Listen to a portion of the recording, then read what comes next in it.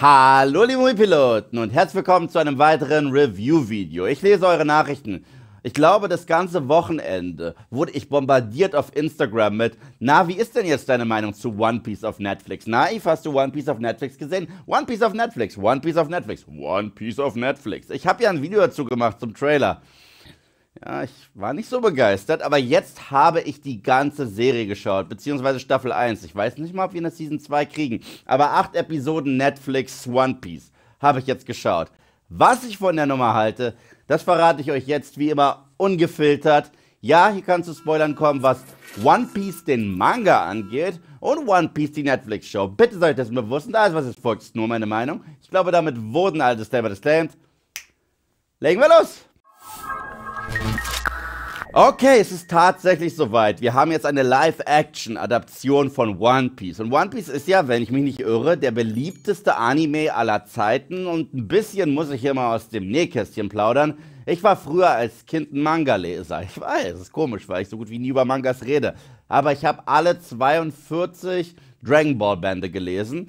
Und als wir so am Ende angekommen sind, da war ich noch in der Grundschule, gab es eine Werbung. Und da hieß es, es gibt ein Leben nach Dragon Ball. Und dieses Leben heißt One Piece. Also habe ich angefangen, mir die One Piece Mangas zu holen.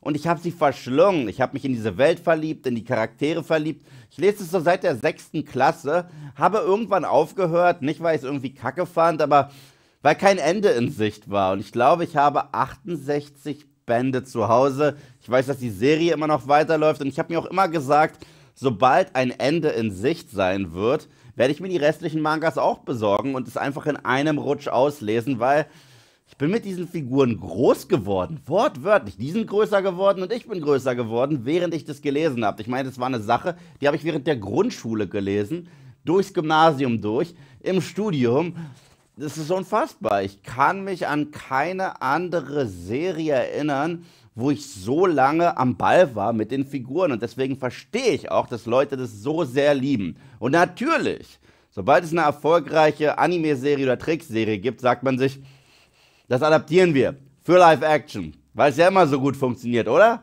Und äh, letztes, nee, vorletztes Jahr hatten wir Cowboy Bebop. Cowboy Bebop ist mein Lieblingsanime und ich hasse das Netflix-Ding. Ich finde es zum Kotzen. Ich fand's scheiße. Ich habe euch gesagt, wie scheiße ich es finde. Dann kam der erste Trailer raus zu One Piece in Live Action ich habe gesagt, sieht scheiße aus. Sieht furchtbar aus. Und ich war bereit, das Ding zu hassen. Und ich habe am Freitag mit Sebastian die ersten drei Episoden back-to-back -back geschaut.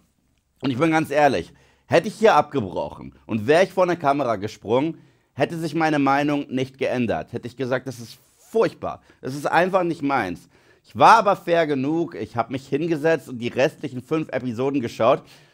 Meine Meinung hat sich geändert. Deswegen ist es ganz schwierig, über One Piece zu reden, weil es gibt Sachen, die ich wirklich mag, es gibt Sachen, die ich wirklich nicht mag, aber im Gesamten verstehe ich jetzt, warum Fans das so sehr lieben. Okay, die One Piece Netflix-Adaption fasst tatsächlich in acht Episoden circa elfeinhalb Mangas zusammen. Und wer überhaupt lost ist und fragt, worüber redet Eve überhaupt? One Piece ist eine Story, ist eine Piratenstory, dreht sich um einen kleinen Jungen, der zumindest zu Beginn ein kleiner Junge ist, Ruffy, der eine Teufelsfrucht ist. Dadurch wird er zu einem Gummimenschen, das heißt, er kann nicht schwimmen, will aber Piratenkönig werden, weil der alte Piratenkönig Gold D. Roger, bevor er hingerichtet wurde, hat gesagt, mein Gold ist irgendwo da versteckt und jetzt ist dieses große Piratenzeitalter losgebrochen. Leute suchen überall nach diesem Schatz und Ruffy rekrutiert nach und nach eine Crew und hat Abenteuer und es gibt verrückte Bösewichte und es gibt eine gigantische Welt und Mythologie. Und das Problem, das ich hatte, als ich die Trailer gesehen habe und als ich auch die ersten paar Episoden gesehen habe, ist folgendes.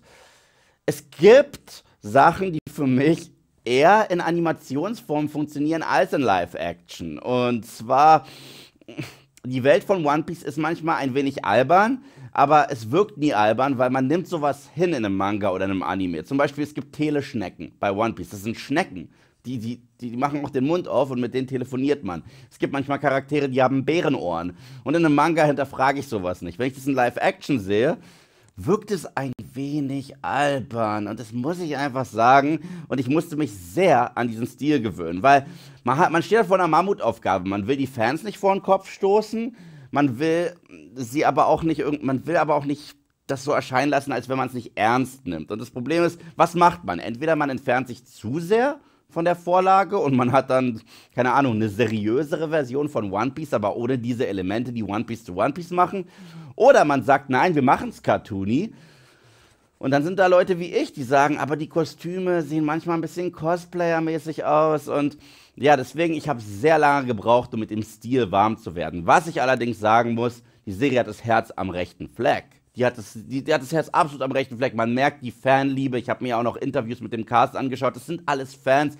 Und der Typ, der Ruffy spielt, er hat diese unfassbare Unschuld und dieses Fröhliche in seinen Augen und so weiter. Gleichzeitig rockt er auch die ernsten Momente. Generell der Cast, was die Crew angeht, Gefällt mir. Gefällt mir wirklich gut. Scene-Stealer Zorro. Zorro ist so ein Charakter, der in den Comics der coolste ist. Und das ist er hier auch. Er ist still und er spielt es auch anders als die anderen Figuren. Er spielt es viel stoischer und es macht wirklich Spaß. Auch die Actionsequenzen funktionieren. Es wird nie in Live-Action, ob Fantastic Force oder sonst was. Es wird nie richtig cool aussehen, wenn man diese Stretching-Fähigkeiten hat. Ich weiß auch nicht warum. Es funktioniert für mich einfach nie. Aber Nami haben die gerockt, Lysop haben die gerockt, obwohl mit Lysop habe ich so ein Problem. Und später Sanji. Ich kann euch ganz genau sagen, wann mich die Serie gecatcht hat, als sie im Baratier waren. Da habe ich gesagt, oh, oh, jetzt bin ich, glaube ich, jetzt bin ich, glaube ich, doch am Start. Das überrascht mich selber. Weil als wir in der Eröffnungssequenz sowas wie Captain Morgan hatten und ich sogar sein echtes Kinn unter diesem Metallding sehen konnte, dachte ich mir, trägt er das einfach nur aus Style? Ich dachte mal, im Comic trägt er das, weil das eine Prothese ist. Es sah einfach so fake aus. Und es, es gibt ein paar Sachen in der Show, die halten sich akkurat an die Vorlage und vor sowas habe ich wahnsinnig Respekt aber weil sie das Ganze so im Schnelldurchlauf erzählen, fehlen mir ein paar dramatische Punches. Zum Beispiel Zorro, bevor er Teil von Ruffys Crew ist, ist ja festgebunden in diesem Marinehauptquartier. Und eigentlich haben die da so eine Wette mit ihm. So und so lange musst du es aushalten, ohne zu essen und wir lassen dich frei. Dann sagen sie ihm aber, haha, wir haben dich verarscht und erst dann wird er von Ruffy befreit. Hier wird er schon vorher befreit. Und dann denke ich mir, ha, es wäre viel tragischer, wenn er seinen Ehrenkodex beibehalten hätte und es für nichts gewesen wäre. Deswegen, das sind so diese Momente, die mir tatsächlich fehlen. Es gibt so einen Lysop-Moment, einer meiner Lieblingsmomente in der kompletten Saga von One Piece. Und zwar, wenn es um die Fischmenschen geht. Der kämpft gegen die, rennt aber weg, dann beschmiert er sich mit Ketchup und will Nami sagen, ja, ich hab's probiert und äh, ach, ich wurde, äh, ich hab's nicht hingekriegt. Und dann schämt er sich selber rennt zurück und sagt, nein, das kann ich so nicht machen und greift den erneut an. Hier verarscht er den Fisch nur und ich hätte mir dieses Drama viel mehr gewünscht. Und weil halt alles so im Schnelldurchlauf ist, klappern wir viele Bad Guys ab. Manche funktionieren, manche nicht. Buggy der Clown ist so ein Charakter, der für mich bei One Piece in der Serie noch nicht richtig so wirklich funktioniert. Ich weiß auch nicht warum sowohl die Trennkraft sieht ein bisschen komisch aus, als auch seine restliche Crew wird nicht wirklich beleuchtet. Da gab es diesen ganzen Arc mit einem Hund. Den Hund sieht man sogar ganz kurz, aber es ist kein Arc, kein nichts, es fehlt mir ein wenig. Äh, auch das mit Beauregard und äh, Lysop's Story fand ich ein bisschen schade, weil er ist der einzige Charakter, wo die Backstory, dass er auch selber immer Pirat sein wollte, nie so krass beleuchtet wird. Aber alles, was sie mit Zorros Backstory machen, hat mir wundervoll gefallen. Mir hat Sanjis Backstory, dass sie das so gut umgesetzt haben mit Jeff und ihm und dass der ja sein eigenes Bein gegessen hat und Sanji dort hungert. Ich gehe halt davon aus, dass ihr den Manga gelesen habt oder die Serie geschaut habt, weil teilweise geht davon auch die Serie aus. Ich frage mich immer, funktioniert die Serie für Leute, die das nie gelesen oder, oder äh, geschaut haben? Weil es ist halt ein derartiger Schnelldurchlauf. Aber alles, was sie da auf diesem Baratier gemacht haben, auch das Setdesign sah so herrlich cartoony aus, dass ich von diesem Zeitpunkt an drin war. Und Arlong. Arlong, im Trailer war ich kein Fan, aber letztendlich, als ich gesehen habe, was sie aus ihm gemacht haben, hat mir ziemlich gut gefallen. Ähm, ich glaube, Don Creek-Fans könnten ein bisschen vor den Kopf gestoßen werden, weil er kämpft nicht mal gegen Ruffy. Er ist kurz da, dann ist er weg, weil Falkenauge. Und Falkenauge ist ein wichtiger Charakter und ich habe das Gefühl, dass sie ihm und auch Shanks gerecht wurden. Das heißt, das hat alles ziemlich gut funktioniert. Letztendlich, die Momente, wo mich die Serie richtig gekriegt hat, waren die, die emotionale Punches waren oder wo sie etwas aus dem Manga genommen haben und es ein bisschen besser gemacht haben. Erlaube ich mir das überhaupt zu sagen? Zum Beispiel Corby. Corby war ja diese, die, dieses Mädchen für alle auf Alvidas Schiff, wollte unbedingt Marinesoldat werden. Das war im ersten Band der Fall, dann war er weg und hat immer in Zwischenkapiteln, das war immer nur eine Seite, gesehen, wie aus ihm und Helmeppo Freunde wurden. Und hier kriegen die den ganzen Arc, wir sehen das parallel und das finde ich tatsächlich schön. Das funktioniert richtig gut.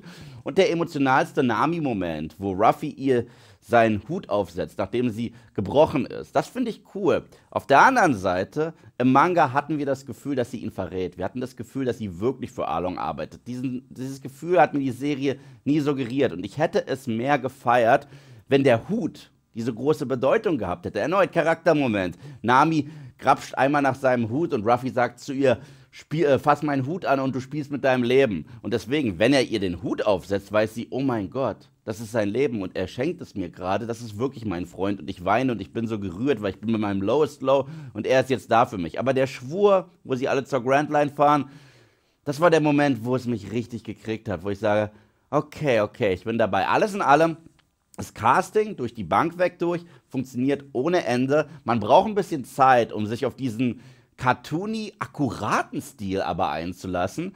Und in gewisser Hinsicht ist das die beste Anime-Adaption, die ich je gesehen habe. Was ich nicht gedacht hätte, weil ich war so raus vom Look und vom Feel. Aber wenn man sich drauf einlässt und wenn man die Vorlage kennt, muss man sagen, das sind Leute, die haben sich mit Eiichiro Oda abgesprochen, das sind Fans und die probieren wirklich das Beste rauszuholen, was sie tun können. Und ich glaube, wenn sie noch ein bisschen mehr auf Figuren setzen, noch ein bisschen mehr die Charaktere atmen lassen, wie zum Beispiel Sanji war phänomenal gespielt und ich mochte auch seine Backstory, aber dass er tatsächlich Teil von Ruffys Crew wurde, das ist so schnell passiert ich, ich mag es, wenn die Figuren erstmal atmen und man dann diese Motivation hat, okay, deswegen ist er jetzt an Bord. Aber der Schwur, wo die ganz klaren Motivationen und Träume äh, doch mal definiert werden, weil das ist das, worum es sich wirklich in One Piece dreht. Träume. Jede Hauptfigur hat einen Traum und es lohnt sich dafür zu kämpfen. Und das ist auch das Piratenleben, so wie Ruffy es sieht. Und ich mag die Tatsache, dass es immer diese